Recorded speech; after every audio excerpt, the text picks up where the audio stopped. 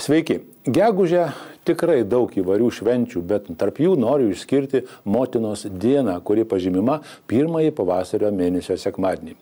Na, o šį kartą mūsų pokalbio temos toli gražu nešventinės. Bendrovė Vilmorus atliko užsienyje gyvenančių lietuvių apklausą, kurios rezultatus paprašiau pakomentuoti jos vadovo Vladą Gaidį. Bet pirmiausia klausimas, kaip buvo surinkta ši apklausa? Organizuota buvo internetu, nes apklausti lietuvius yra labai sunku. Pasaulio lietuvius pagaliau e, tas apibrėžimas klausimas, o kasgi tas yra užsienio lietuvisgi nėra čia tiksli kokia tai savoka. Statistika e, skaičiuoja nuo e, šešių mėnesių ir daugiau, bet e, žmogus pragyvenęs ten septynis mėnesius, gal jisai sugrįž į tą aštuntą mėnesį ir, ir panašiai.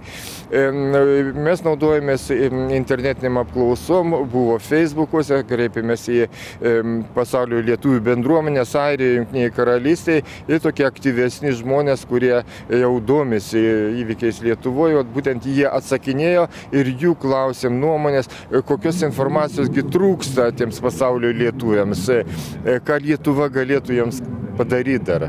Kitaip sakant, nebuvo apklausi tie emigrantai, kurie, sakysim, Ispanijoje skina pomidorus ar Norvegijoje valo žuvį. Vladas Gaidys su tuo sutinka. Čia būtų, čia būtų kitas tikslas, e, čia galbūt charakteristikos, kodėl tie žmonės e, pasitraukia iš Lietuvos. Yra, e, tokių tyrimų yra buvę ir mes kai ką esam darę, galim daryti ir ateityje. Galime apklausti žmonės, kurie grįžo į Lietuvą. Tokie tyrimai netrukus bus bus anonsuoti jau grįžusiųjų apklausa. Jau čia ne mes darėm, ten e, kitos firmos. E, nu, taip pat galim klausti žmonės, kurių artimieji šiuo metu yra užsienį, jį galim sužinoti, kokios ten sąlygos ir panašiai. Bet šiuo, metu, šiuo atveju mes kalbam apie e, lietuvių, tokį užsienio lietuvių galbūt elitą, taip pavadinkim. Jų nuomonė yra labai svarbi. Na, elitas tai elitas, jis net kokioj Ispanijoje elitas. O mano klausimas esminis, kokie pagrindiniai apklausos rezultatai, kas nustebino mano pašnekovą. Čia galbūt ir daug tokių technologinių momentų, e, ką, e, ką reikėtų, kokios informacijos konkrečiai, ar konsulinė informacija, ar tokia informacija. Nu, galbūt čia nėra taip labai įdomu, gal aš paminėsiu porą momentų, kurie, e, kurie man pakankamai netikėti galbūt buvo, ar, ar, ar, ar nauji, ar, ar kaip. Nu, vienas dalykas klausimas kokiom aplinkybėm pasikeitus e, žmogus e, grįžtų į Lietuvą ar labiau galvotų grįžti į Lietuvą.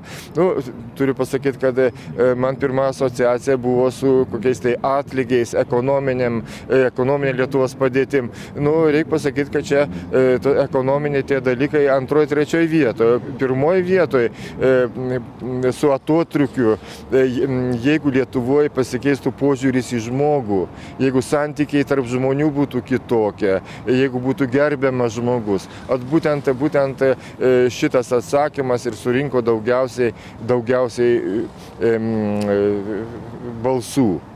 E, tai čia vienas dalykas, kuris verčia ir pagalvoti apie tai, ir galbūt ir e, tyrimų kryptis, e, kiek tai fokusuoti būtent į tą pusę. Antras dalykas, nu, kas man pasirodė įdomu, kad nu, domisi, domisi, domisi žmonės įvykiais Lietuvoje, 40 procentų žiūri televiziją lietuvišką, tu žiūri per internetą, per palidovinę televiziją tom, tom formom. Ir labiausiai yra žiūrimas, nu, tos daugmaž vienodai Lietuvos televizija, LNK, TV3 žiūrima. Mm, jos vertinamos visos trys labai neblogai, su pliuso ženklu e, teigiamai vertinama ta informacija. O į klausimą, e, kokios informacijos jūs daugiau norėtumėte sužinoti, nu apie ką, kas jums būtų svarbu, e, atsakymas, modalus, dažniausias atsakymas buvo pozityvios informacijos apie Lietuvą. Pozityvios informacijos apie Lietuvą ir čia gal irgi kiek netikėtumas, taip atrodytų, ar pagal nutilėjimą, kad Lietuvoje tai žmogus ieško ten nužudimai, ten kažkas tai ten bankrutavo, o čia tai įdomu labai. O dabar užsienio, užsienio gyvenantis lietuvis, jis jaučiasi, nu, čia iš kitų klausimų seka, kiek yra toks ambasadorius, mažasis ambasadorius Lietuvos, atsakingas laimingas, jis pasakoja kaimynams ten ar darbe, nu, kasgi ta Lietuva ir kaip yra, žmonės nelabai žino ten užsienį, kuo toliau nuo Lietuvos, tuo mažiau žino ir irgi tą informaciją atgavom, gal ne visai gera ta reputacija, taip jiems kaip oro reikia tų pozityvių įvykių, sėkmės, sėkmės istorijų. Ne, ne, ne patiems jiems asmeniškai, bet, nu, būnant kaip Lietuvos atstovai. Nu, matyt, šitą reikia turėti turėt galvoje. Taigi turime nemažai ambasadorių užsienyje ir jų skaičius auga. Svetbanko vyriausiojo ekonomisto Nerijus Mačiulio paprašiau komentaro, kokios priežastys lietuvius skatina emigruoti, kodėl dabar svarbiausią pasirinkimą lemia ne ekonominiai motyvai. Kokia jūsų nuomonė apie šitos apklausos rezultatus ir ką jie rodo mūsų visuomeniai? Na, akivaizdu, kad prieš dešimtmetį tik įstojus į Europos Sąjungą, pagrindinis motyvas žmonių nusprendusių gyventi ne Lietuvoje, o dirbti, kurti šeimas e, kitose Europos Sąjungos valstybėse buvo finansinis motyvas. Juk atsiminkime, kad iki įstojimo Europos Sąjungą vidutinis darbo užmokestis buvo tūkstantis litų. Tai buvo dešimt kartų praktiškai mažesnis negu Junktiniai karalystėje ar, ar, ar, ar Skandinavijos valstybėse. Dabar tas atotrukis mažėja. Dabar jau vidutinis darbo užmokestis siekia beveik 2,5 tūkstančio litų ir jisai sparčiai auks ateinantį penkmetį ir arties link Europos ES vidurkio. Ir va šitame kontekste, kai mažėja atotrukis tarp pajamų, kurias gali gauti žmogus Lietuvoje dirbdamas ir kurias gali gauti dirbdamas ar Junktiniai karalystė ar kito ES valstybei, pradeda įgyti didesnę svarbą kiti veiksniai tokie. Ar žmogus jaučiasi saugus, kaip jisai mato teisinės sistemos funkcionavimą, ar jo teisės yra ginamos, ar yra valstybėje privilegijuotų asmenų, kuriems įstatymai negalioja. Jeigu mato e, piliečiai, kad pavyzdžiui politikai gali išvengti atsakomybės, paimti kyšį ir likti nenubausti, tuo tarpu paprastas pilietis yra griežtai nubaudžiamas net už menkus pažeidimus. Tokioje visuomeniai žmonės jaučiasi nesaugus ir ieško galimybės ištrūkti iš jos. Tai žiūrint į ateitį, manau, kad ne ekonominiai rodikliai turės didžiausią svorį, o būtent e, tai, kaip mes e, vystysim politinę kultūrą, kaip funkcionuos teisinė sistema, kaip e, visuomenė apskritai bus integruota, ar bus priešiškumas tarp skirtingų visuomenės grupių, visuomenės sluoksnių, ar, ar mažės ar didės socialinė regioninė atskirtis. Va šitie rodikliai bus labai svarbus priimant sprendimą išvykti ar grįžti į Lietuvą.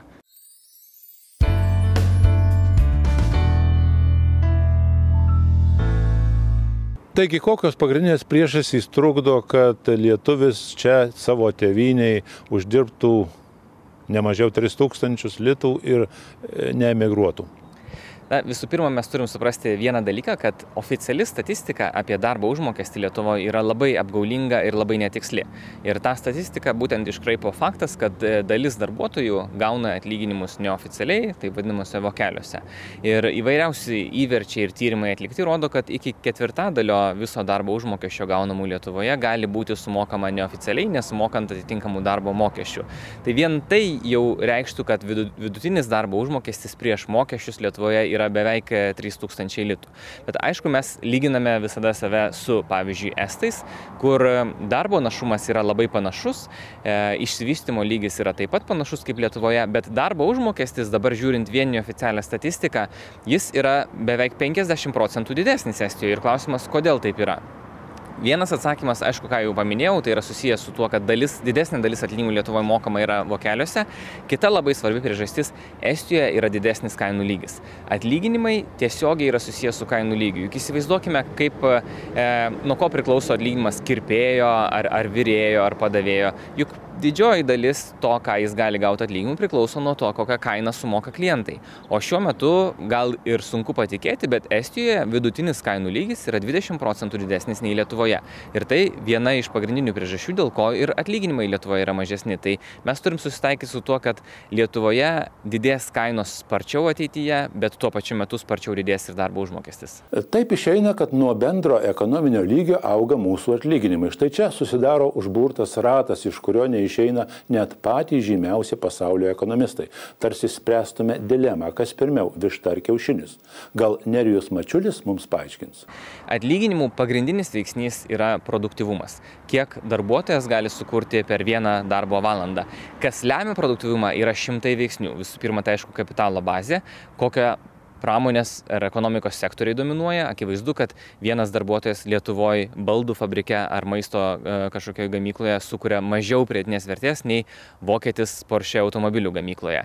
Dėl to, kad yra skirtingos pramonės šakos, skirtingos e, kapitalo bazės, skirtingos investicijos. Bet pagal investicijas visose sektoriuose Lietuva dar atsilieka 5-6 kartus nuo e, investicijas tenkančias vienam darbuotojui, atsilieka tiek daug nuo vakarų Europos valstybių. Tai būtent didesnis investicijų augimas ir kels produktivumą ir ir aišku sukurs daugiau galimybių mokėti didesnį darbo užmokestį. O pagrindinis veiksnys, kuris pakeltų tą atlyginimo vidurkį, koks galėtų būti mūsų ekonomikoje ar santykiuose, sakysim, visuomeniniuose? Na, labai staigiai pakelti atlyginimus galima tik tai padidinant kainas ir, ir čia turbūt nėra tvarus sprendimas.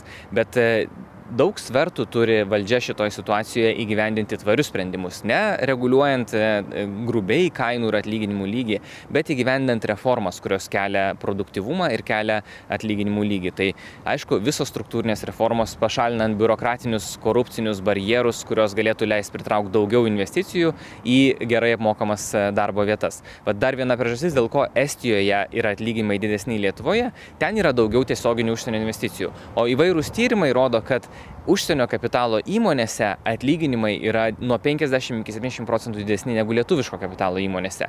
Tai vėlgi labai svarbus veiksnys. Kuo mes daugiau turėsime pažangesnių, produktyvesnių užsienio kapitalo įmonių, tuo didesnis bus visoji rinkoje atlyginimas. Nes tuomet įmonėse, dirb, užsienio kapitalo įmonėse dirbantis darbuotojai, jie gauna didesnį atlyginimą ir rinkoje jau ir lietuviškos įmonės konkuruoja dėl tų darbuotojų, turi siūlyti didesnius atlyginimus ir tai sukuria atlyginimo augimą visoje rinkoje. Na, o kol kas sukamės tame užburtame rate, keisdami litą į eurą, laukdami ES išmokų ir malonės, gražiai švesdami narystės bendrijoje dešimtmetį, nesutardami patys su savimi. O vis dėlto su šventėmis, su visomis, o tarp jų su mieliausia, su motinos diena. Su Dievu.